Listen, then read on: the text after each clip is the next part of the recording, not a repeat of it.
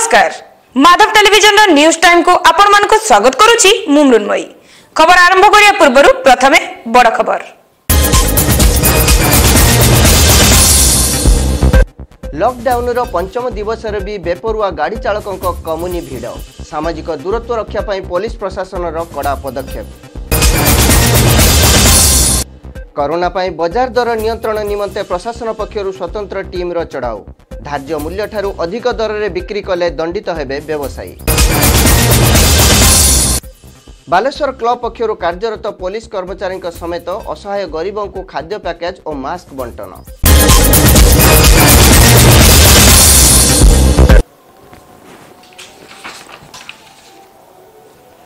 ବର୍ତ୍ତମାନ ସମ୍ପୂର୍ଣ୍ଣ ଖବର।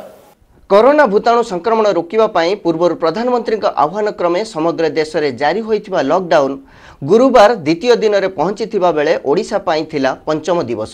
ବାଇଶ ତାରିଖର ଜନତା କର୍ଫ୍ୟୁ ପାଳନ ଦିନରୁ ହିଁ ରାଜ୍ୟ ସରକାର ମାର୍ଚ୍ଚ ଅଣତିରିଶ ତାରିଖ ପର୍ଯ୍ୟନ୍ତ ଲକଡାଉନ ଘୋଷଣା କରିଥିଲେ।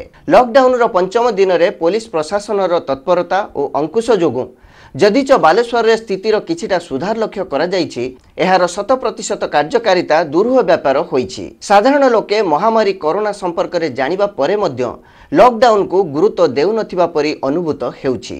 ସାମାଜିକ ଦୂରତ୍ୱ ବଜାୟ ରଖିବା ପାଇଁ ଘରୁ ନ ବାହାରିବା ନିମନ୍ତେ ପ୍ରଶାସନ ପକ୍ଷରୁ ଡାକବାଜି ଯନ୍ତ୍ରରେ ଅହରହ ପ୍ରଚାର ଚାଲିଛି। ଏହା ସତ୍ତ୍ୱେ ସହରର ମୁଖ୍ୟ ରାସ୍ତାକୁ ଛାଡ଼ିଦେଲେ ଅନ୍ୟ ସମସ୍ତ ରାସ୍ତାରେ ଲୋକଙ୍କ ଚଳପ୍ରଚଳ ଦେଖିବାକୁ ମିଳିଛି। ଏମିତିକି କିଛି କାମ ନଥାଇ ବି ଲୋକେ ଘରୁ ବାହାରି ବୁଲୁଛନ୍ତି।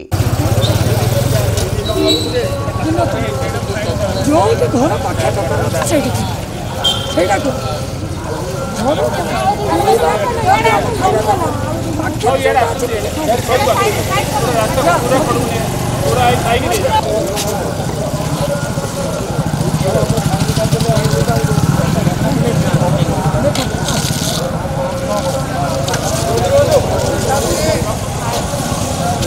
ऐसे कटाई कटाई फाइन कटाई फाइन कटाई अरे फाइन कटाला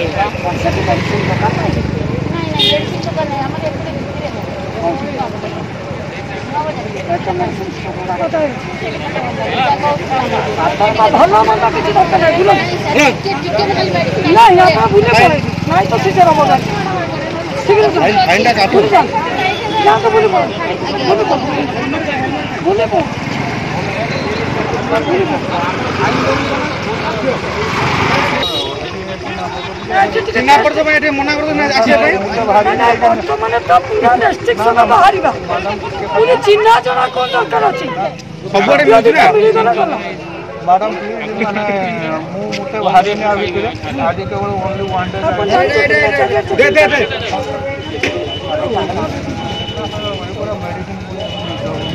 କାହିଁକି କେତେ ବାଟ ଆସିବେ ପାଖ ଦେଖିବେ ପାଖ ଦୋକାନ ଯିବେ କେବଳ ପୋଲିସ ପେଟ୍ରୋଲିଂ ଗାଡ଼ି ଆସିବାର ସୂଚନା ପାଇବା ମାତ୍ରେ ଲୋକେ ନିଜ ନିଜର ଘରକୁ ଚାଲି ଯାଉଥିବା ବେଳେ ବାକି ସମୟରେ ପୁଣି ରାସ୍ତାକୁ ବାହାରି ଆସୁଛନ୍ତି।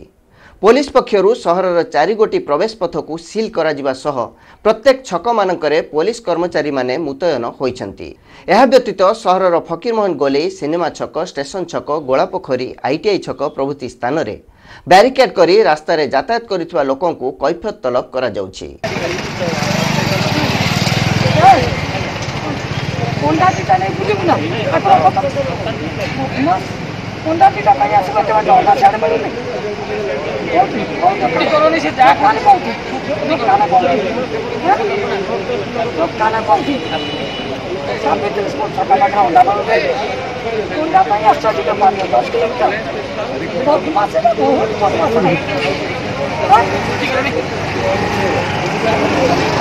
ବିନା କାରଣରେ ଆସୁଥିବା ଲୋକଙ୍କୁ ଅଟକିବା ସହିତ ସେମାନଙ୍କଠାରୁ ଫାଇନ୍ ଆଦାୟ କରାଯାଇଛି। ତେବେ ପୋଲିସ ଦେଇଥିବା ହିସାବ ଅନୁସାରେ ଗୁରୁବାର ସତର ଗୋଟି ଦୁଇଚକିଆ ଯାନ ଓ ପାଞ୍ଚଟି ଚାରିଚକିଆ ଯାନରୁ ମୋଟ ସତେଇଶ ହଜାର ଟଙ୍କା ପୋଲିସ ଜରିମାନା ଆଦାୟ କରିଛି।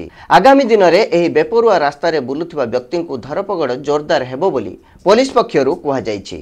ସେହିଭଳି ବାଲେଶ୍ୱର ସହରର ପନିପରିବା କ୍ଷୀର ଔଷଧ ଗ୍ରୋସରୀ ବ୍ୟତୀତ ଅନ୍ୟ ସମସ୍ତ ଦୋକାନ ବନ୍ଦ ହୋଇଥିବା ଦେଖିବାକୁ ମିଳିଛି। ମାତ୍ର ଲକଡାଉନର ପଞ୍ଚମ ଦିବସରେ ବି ବାଲେଶ୍ୱର ସହରର ମୋତିଗଞ୍ଜ ଓ ନୂଆବଜାର ପରିବା ମାର୍କେଟରେ ସକାଳଠାରୁ ମଧ୍ୟାହ୍ନ ପର୍ଯ୍ୟନ୍ତ ଲୋକଙ୍କ ଭିଡ଼ ପରିଲକ୍ଷିତ ହୋଇଥିଲା। ତଟକା ପରିବା ପାଇଁ ଲୋକେ ଘର ପାଖ ଦୋକାନକୁ ନ ଯାଇ ଏହି ଦୁଇ ମାର୍କେଟ ଯାଇ ଆବଶ୍ୟକ ପନିପରିବା କିଣୁଥିବା ଯୋଗୁଁ ଏହି ଭିଡ଼ ବଢ଼ିଥିବା ଜଣାପଡ଼ିଛି। ତେବେ ଭିଡ଼ ହ୍ରାସ ପାଇଁ ପୋଲିସ ପକ୍ଷରୁ ବ୍ୟାପକ ବ୍ୟବସ୍ଥା କରାଯିବା ସହ ଲକଡାଉନ ସଫଳ କାର୍ଯ୍ୟକାରୀ ପାଇଁ ଜିଲ୍ଲା ପୋଲିସ ପକ୍ଷରୁ ବିହିତ ପଦକ୍ଷେପ ନିଆଯାଉଛି।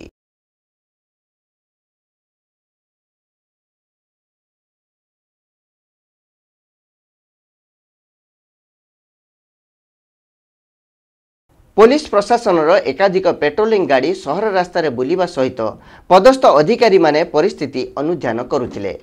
ତେବେ କରୋନା ଭୂତାଣୁ ସଂକ୍ରମଣ ରୋକିବା ପାଇଁ ସରକାରଙ୍କ ନିର୍ଦ୍ଦେଶକୁ ମାନି ସମସ୍ତେ ଘରେ ରହିବାକୁ ପୋଲିସ ପ୍ରଶାସନ ପକ୍ଷରୁ ଜିଲ୍ଲାବାସୀଙ୍କୁ ନିବେଦନ କରାଯାଇଛି।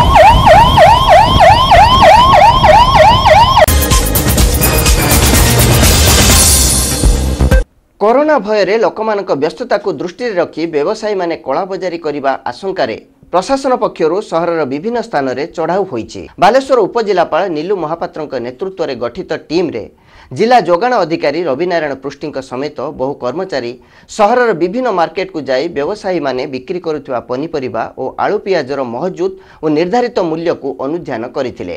ଏଥିସହିତ ଟିମ୍ ପକ୍ଷରୁ ବିଭିନ୍ନ ଗୋଦାମ ଉପରେ ଚଢ଼ାଉ କରାଯାଇ ମହଜୁଦ ଆଳୁ ପିଆଜ ଆଦି ଯାଞ୍ଚ କରିଥିଲେ।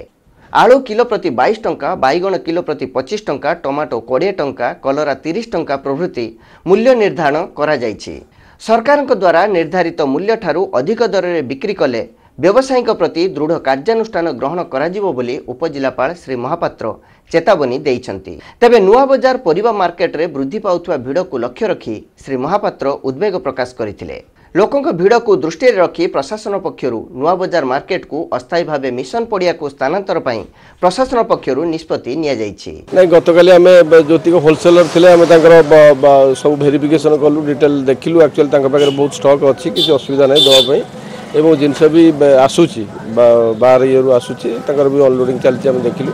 ଆଜି ଆମେ ଆକ୍ଚୁଆଲି ସୋସିଆଲ ଡିଷ୍ଟାନ୍ସ କେମିତି ମେଣ୍ଟେନ୍ ହେଇପାରିବ ମାର୍କେଟ ଏରିଆରେ ଆଉ ଭେଜିଟେବୁଲ୍ସ ସପ୍ ଯେମିତି ବା- ଇଏ ହେବ ଗୋଟେ ସିଙ୍ଗିଲ୍ ଇଏ ମେଣ୍ଟେନ୍ କରିବେ ବା ଇଏ ଟାଇମିଂ ମେଣ୍ଟେନ୍ କରିକିରି ପ୍ଲସ୍ ସୋସିଆଲ ଡିଷ୍ଟାନ୍ସ ଯେମିତି ମେଣ୍ଟେନ୍ କରିବେ ଲୋକମାନେ କେମିତି ନେଇପାରିବେ ସେଇ ବାବଦରେ ଆମେ କରୁଛୁ। ସେଇଟାକୁ ଆମେ ଷ୍ଟେପ୍ ନେଉଛୁ ବର୍ତ୍ତମାନ କେମିତି ହେଇପାରିବ ସେଇଟା ଆମେ ସମସ୍ତଙ୍କୁ ସହଯୋଗ କରିବାକୁ ଚାହୁଁଛୁ କରିବାକୁ କହୁଛୁ ଯେ ଆମେ କେମିତି ବା- ଏଇଟାକୁ ସୋସିଆଲ ଡିଷ୍ଟାନ୍ସ ମେଣ୍ଟେନ୍ କରିବା ମାର୍କେଟ ଏରିଆ ଭିତରେ। ଆମେ ତାଙ୍କୁ ପ୍ରତି ଇଏକୁ ଆନାଉନ୍ସମେଣ୍ଟ ମାନେ ମା- କରିକିରି ତାଙ୍କୁ ବର୍ତ୍ତମାନ ସବୁ ଇଏକୁ ରେଟ୍ ଚାର୍ଟ ବି ସେମାନେ ମେଣ୍ଟେନ୍ କରିବା ପାଇଁ କହିଛୁ କରୁଛନ୍ତି ସେମାନେ। ଆମେ କାଲି ଦେଖିଲୁ ବହୁତ ଜିନିଷ ସଫିସିଏଣ୍ଟ ଆସୁଛି। ବି ଷ୍ଟକ୍ ବି ଅଛି କିଛି ଅସୁବିଧା ନାହିଁ। ଭେଜିଟେବୁଲ୍ ମାର୍କେଟକୁ ଫ୍ୟାସିଲିଟେଟ୍ କେମିତି କରିବା ପାଇଁ ଆମେ କରୁଛୁ ବ୍ୟବସ୍ଥା କରୁଛୁ। କିନ୍ତୁ ଆକ୍ଚୁଆଲି ସମସ୍ତଙ୍କର ସହଯୋଗ ଏଥିରେ ରହିବା ଦରକାର ଏବଂ ସୋସିଆଲ ଡିଷ୍ଟାନ୍ସଟାକୁ ପ୍ରାୟୋରିଟି ଦେବା ମେଣ୍ଟେନ୍ କରିବା କେମିତି ଦରକାର। ସେଇଟାକୁ ବି ଇନଫର୍ମିଟି ମେଣ୍ଟେନ୍ କରିବାକୁ ଚାହୁଁଛୁ। ଯେମିତି କେବେ କୌଣସି ଜାଗାରେ ହୋର୍ଡ଼ିଂ ହେଇପାରିବନି ଏବଂ ରେଟ୍ ଭ୍ୟାରିଏସନ୍ ହେଇପାରିବନି। ଯେଉଁଠି ଇନଫର୍ମିଟି ମେଣ୍ଟେନ୍ କରିବେ ସେଇ ରେଟ୍ରେ ସେମାନେ ସମସ୍ତେ ଇଏ କରିବେ। ଆମ ସିଭିଲ୍ ସପ୍ଲାଇ ଅଫିସର ବି ସେଇଟା ଗୋଟେ ରେଟ୍ ତାର ଦେଇଛନ୍ତି ସେମାନେ ସମସ୍ତେ ସେଇଟା ଫଲୋ କରିବେ। ଏହି ପଡ଼ିଆରେ ନିର୍ଦ୍ଦିଷ୍ଟ ଦୂରତାରେ ପରିବା ଦୋକାନ ସ୍ଥାପନ ସହ ଗ୍ରାହକମାନେ ବି ଦୂରତା ବଜାୟ ରଖିବେ ବୋଲି ପ୍ରଶାସନ ପକ୍ଷରୁ ଧାର୍ଯ୍ୟ ହୋଇଛି। କରୋନା ପାଇଁ ସମ୍ପ୍ରତି ସାମାଜିକ ଦୂରତ୍ୱ ବଜାୟ ରଖିବା ଉପରେ ଗୁରୁତ୍ୱ ଦିଆଯାଉଥିବା ବେଳେ ସହରରେ ଭିକ୍ଷାବୃତ୍ତି କରୁଥିବା ଏବଂ ଅସହାୟ ଅବସ୍ଥାରେ ବିଭିନ୍ନ ସ୍ଥାନରେ ମୁଣ୍ଡ ଗୁଞ୍ଜିଥିବା ଲୋକଙ୍କ ସହାୟତା ନିମନ୍ତେ ସହଯୋଗର ହାତ ବଢ଼ାଇଛନ୍ତି ବାଲେଶ୍ୱରର ଏକାଧିକ ସାମାଜିକ ଅନୁଷ୍ଠାନ। Balasore club Balasore social service society BSSS ପ୍ରଭୃତି ଅନୁଷ୍ଠାନ ପକ୍ଷରୁ ଏହି ବର୍ଗର ଲୋକଙ୍କୁ ରନ୍ଧା ଖାଦ୍ୟ ବଣ୍ଟନ କରାଯାଇଛି।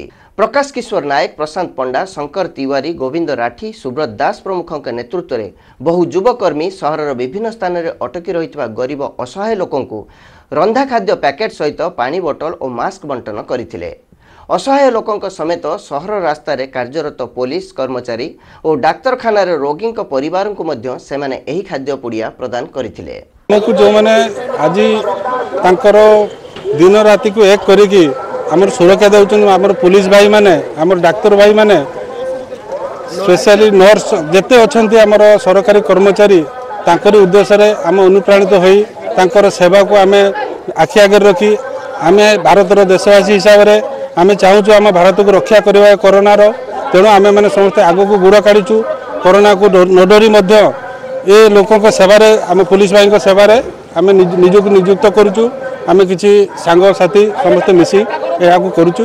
ଆଶା କରୁଛୁ ଆମେ ଦେଶ ସେବାରେ ଲାଗିପାରିବୁ ଏବଂ ଆଗାମୀ ଦିନରେ ଏସବୁ ଜିନିଷ କଣ୍ଟିନ୍ୟୁ ଜାରି ରଖିବୁ। ଖାଇବାକୁ ପାଉନାହାନ୍ତି। ସାରା ହୋଟେଲ ବନ୍ଦ ଅଛି ରେଷ୍ଟୁରାଣ୍ଟ ବନ୍ଦ ଅଛି।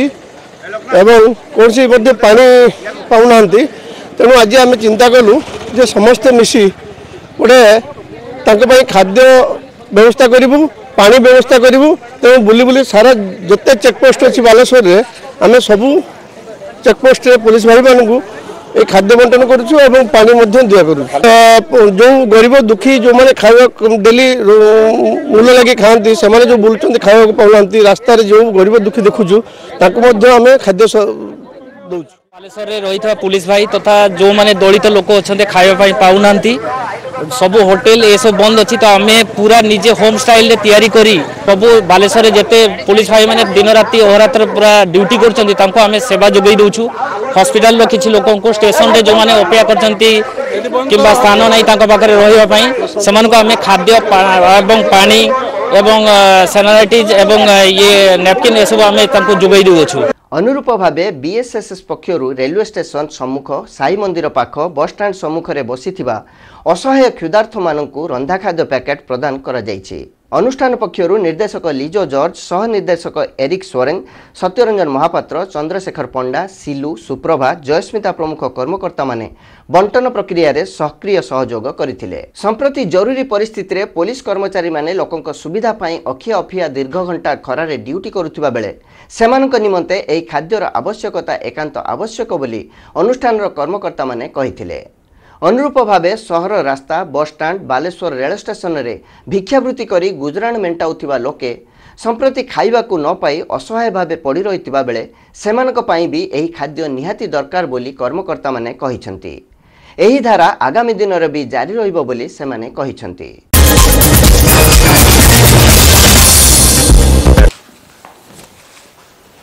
ଖବର ଶେଷ କରିବା ପୂର୍ବରୁ ବଡ଼ ଖବର ପୁଣି ଥରେ। ଲକଡାଉନର ପଞ୍ଚମ ଦିବସରେ ବି ବେପରୁଆ ଗାଡ଼ି ଚାଳକଙ୍କ କମୁନି ଭିଡ଼। ସାମାଜିକ ଦୂରତ୍ୱ ରକ୍ଷା ପାଇଁ ପୋଲିସ ପ୍ରଶାସନର କଡ଼ା ପଦକ୍ଷେପ। କରୋନା ପାଇଁ ବଜାର ଦର ନିୟନ୍ତ୍ରଣ ନିମନ୍ତେ ପ୍ରଶାସନ ପକ୍ଷରୁ ସ୍ୱତନ୍ତ୍ର ଟିମ୍ର ଚଢ଼ାଉ।